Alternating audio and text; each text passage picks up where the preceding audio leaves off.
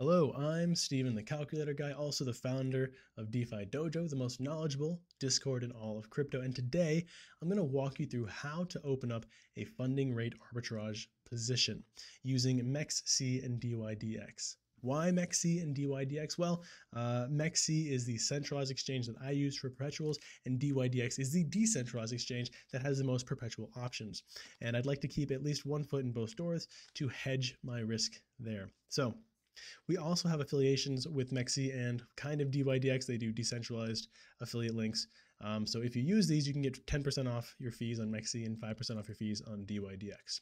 All right, without further ado, let's jump in. You may have remembered that I did a video on this tool last week. Uh, we've cleaned up this tool a little bit, made it a little more streamlined. So now you can see uh, if you type in the asset you want to check here, uh, you can put days here, and it'll tell you what the average funding rates were over that time, as well as give you a nice sum in that same time frame. So you can see in the past 10 days, if you were long on Solana on MEXC, you would have made 1.9% on that long position. Uh, likewise, if you were short on Bybit, you would have made 0.073% on that uh, position. So down here, once you find out what the best long and best short is, you can choose those exchanges. So we can choose uh, Bybit here, and you can see what your projected APY is given the leverage. So if you're at 2x leverage, which is generally what I use, you can see that you'll be getting 73% uh, annualized. Now, what does that mean? It means you'll be getting uh, pretty much pennies on Bybit, but you'll be getting a lot on MEXC to keep that long position open. Now, these APRs are are not to be considered like fixed uh, projections of your future yield. Rather, they're simply ways to contextualize the current yield. Um, because generally speaking, when I talk to people, they understand APRs. They understand like what they will get each day or each month based off of an annualized yield. So, uh, and if you want a more realistic or more reliable, you can look at the the 10 day sum historically and imagine that's probably closer to what you might get in the future. So in another 10 days, you are you may get another two percent here, or you know, 1.8 percent. Okay, uh, so once you understand this tool, it's very simple to use, right? Blues are inputs, greens are outputs. So you just change your exchange and your leverage. Uh, we'll use DYDX because that's what we're going to be going through. I don't want CEX CEX exposure. I'd rather have CEX DEX exposure. So that's what we'll be doing. All right, let's talk about DYDX first. So let's say we want to open this particular position, a Solana position with short and long. And maybe you don't want to do Solana, maybe you want to do something else. We'll look at Link. I think that's another one with, with pretty decent uh, funding actually. And so if we do Link, um, uh, Link looks like it's probably better for, yeah, maybe not Link. Maybe we'll do EOS. It's another position that I'm in. I don't mind showing you guys that one. I opened up three positions yesterday uh, after building this tool. And we'll switch these around, uh, DYDX MEXC. So it's about 42, 43% annualized. So let's look at this, right? How would we open this position? Well, first we need to fund our DYDX account. That is super easy. Just get USDC or USDT, um, USDC I would recommend, onto your uh, Ethereum mainnet wallet, and then click on deposit on DYDX. If you are an American, you will need to use a VPN. Uh, don't have any sponsorships there, but I use ExpressVPN. NordVPN is also an option. Any VPN will work. Uh, I don't have a preference. I just use the one that was the most popular. So you can see I have $2,000 in my EVM Ethereum mainnet wallet. I would confirm deposit. I have already deposited enough. I don't want to deposit any more to DYDX because I like to hedge my exposures. Uh, so you can see in my portfolio now I have about 13,000 on DYDX. Now, if I want to open the position, I would go to trade. But before I do that, I want to mention when you open these positions, because you want to be as delta neutral as possible, initially, you should also get your other exchange ready. So we're going to go over to MEXC and also get ready. Uh, so let's just go EOS, EOS. Okay, perfect. So I'm going to be shorting on, no, I'll be long on DYDX. This is the long side. long side, short side. So I'll be longing on DYDX and I'll be shorting on MEXC. So when you're on DYDX, you want to make sure you're buying. Buying means longing, selling means shorting. Uh, and why that is is because when you sell, you're not actually selling any assets you have. You're flash buying a contract and selling that contract, uh, which is related to a certain amount of, of assets. So uh, we'll be like flash buying a contract that that uh, represents 100 EOS and selling it. And then if EOS goes down in value and I close on position, I, I buy that contract back for less money, hence the profit of shorting um, and, you know, transfer the contract. So selling, selling just means shorting, buying just means longing. Uh, we'll keep it simple. And you, all the stuff I just said, you don't have to think about. Um, it really is uh, much simpler than that. So sell means short, buy means long. Okay, so let's go over to Mexi. Uh, once you have your Mexi account, it's uh, you will fund it through wallets. Click on wallet, deposit. You can choose a whole bunch of different chains. Uh, if you've used a centralized exchange before, which I imagine you must have, to, to, if you're seeing my videos, you know enough crypto to do that. Then you go over to futures and USDTM. You will need USDT. You can use USDC as well, but they have fewer options. Uh, and so I generally use USDT, though I'm not I'm not opposed. And you can see all of the ones that I'm currently that I currently have open uh, for funding my arbitrage. And don't copy me because there are better options out there. These are just the ones that I opened last night. Uh, and if we all do the same positions, they, they may not work out. There are plenty of positions out there. So, you know, do your own research. Check out a few different uh, uh, options here. So deposit, you'll click deposit to transfer the USDT from your from your wallet, your uh, trading spot wallet to your futures wallet. So we'll just click deposit here. I don't think I have any funds currently in my spot wallet. No, not deposit. We'll click transfer.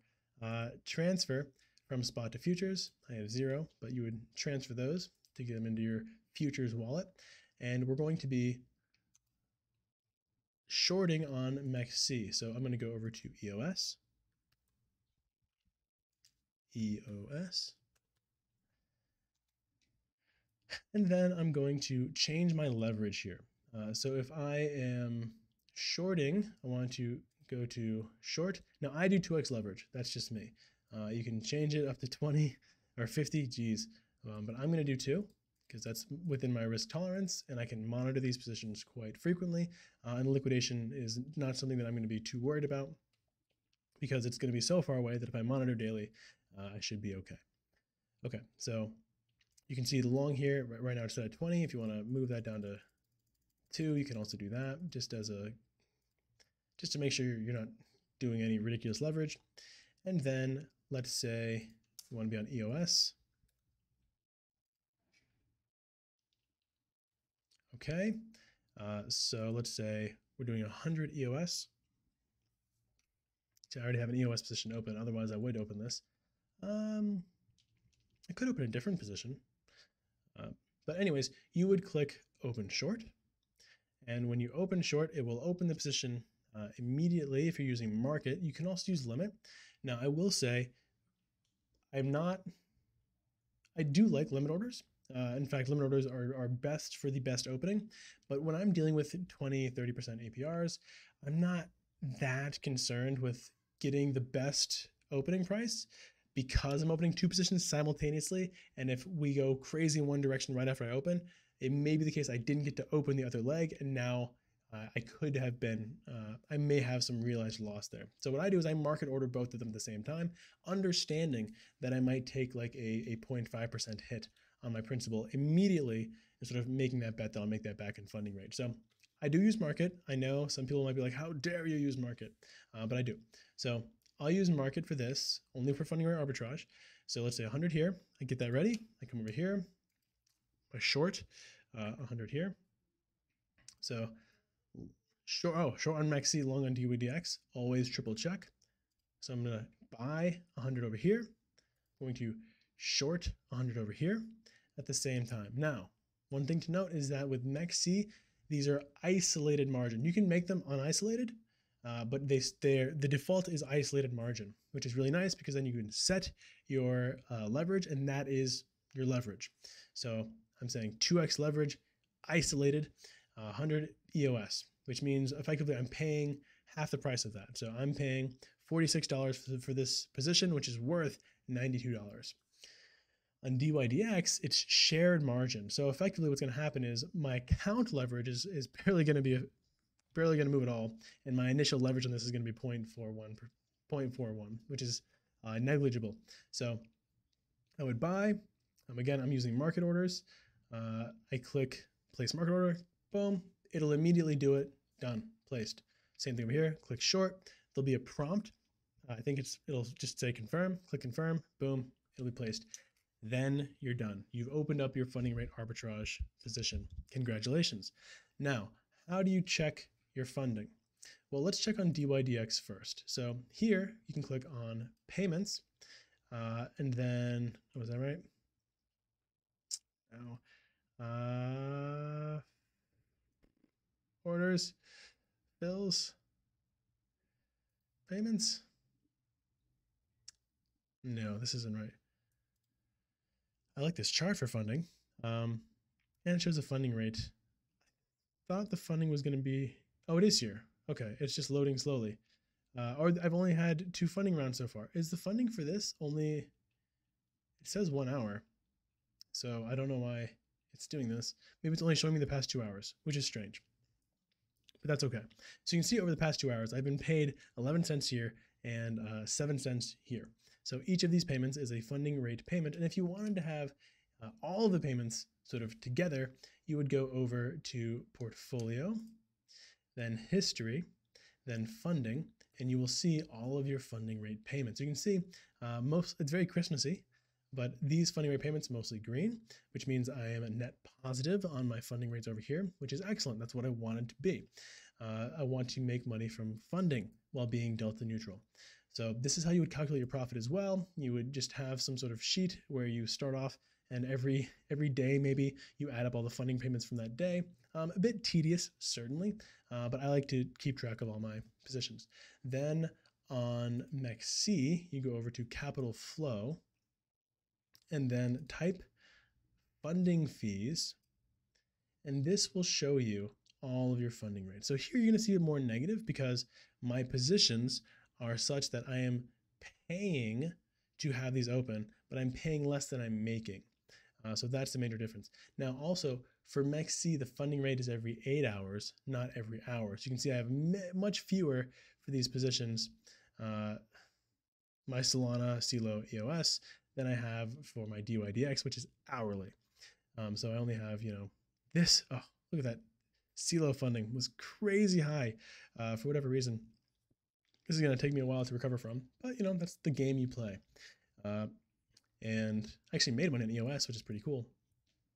So there you go. I have now opened my positions and I can now track them. Very cool. Now, when would you close these positions? Uh, that's a great question. I'm glad that I asked myself. You would close these positions when the funding flips against you. When does funding flip against you? When the price relative to the index price switches. So let's say right now I'm getting paid on DYDX to hold this Solana position open, right? Go to trade, go to Solana. Ba, ba, ba, right now I'm getting paid quite a bit uh, because the quite a bit to long because what, what they call this is the mark price. The mark price is lower than the index price. So I'm getting paid to hold this position open as long. Now, this position becomes unprofitable when this goes above this, when the mark goes above the index, because then I will have to pay to keep this position open. So when this goes above this, I stop making funding. However, however, I can now exit my long position at a premium because the mark price is higher. Remember, when you're long and the price goes up, that's good for you. The mark price goes up relative to the index. So now if I exit my long there, I actually get a premium. I get paid more relative to when I entered. Uh, so that's also one of these one of these nice sort of uh, win-win situations where you enter a long when the mark is below the index and you exit a long when it's above the index. Uh, now, in an ideal situation, the reverse is true on the other exchange you're arbitraging, but it's not always the case.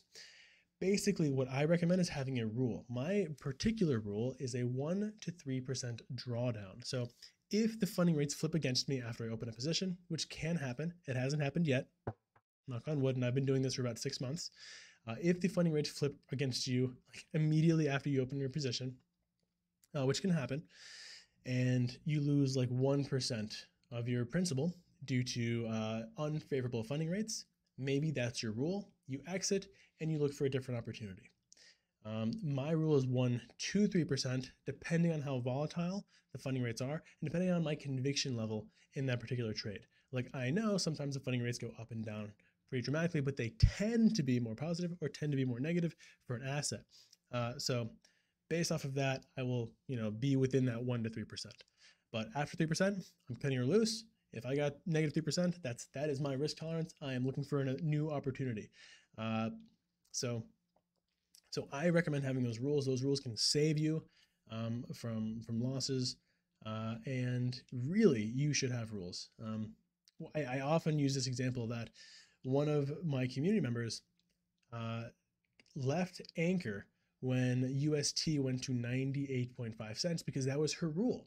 She said, if it depegs to this particular number, I'm out because that's her rule. Like, and even if it repegged, she would not look back because she had a rule you know saved saved well into six figures uh, with that rule.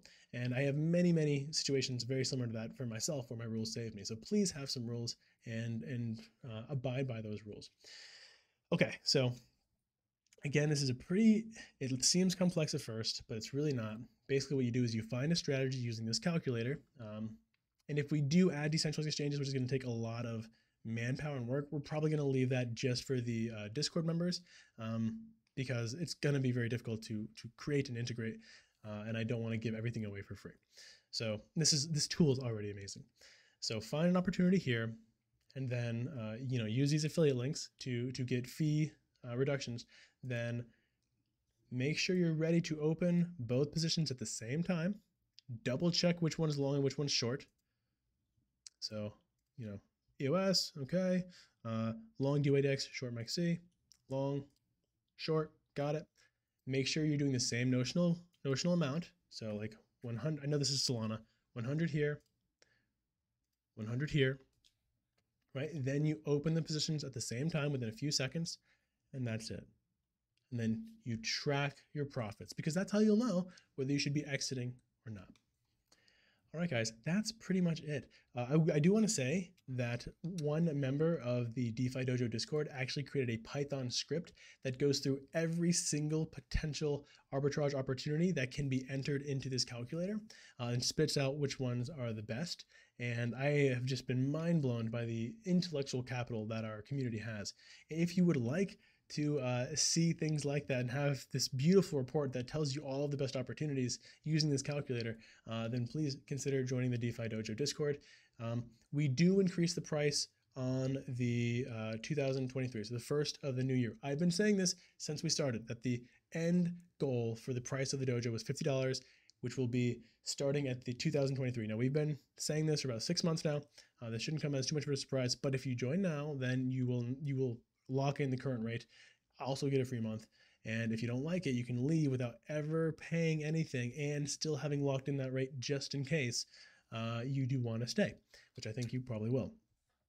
So consider that. Um, all right, that is it, guys. Link to this calculator in the description. And if you have any questions, uh, you can join the free portion of the DeFi Dojo Discord, and, and I will do my best to answer them uh, with the time that I have. Thank you so much for watching and have a wonderful rest of your day.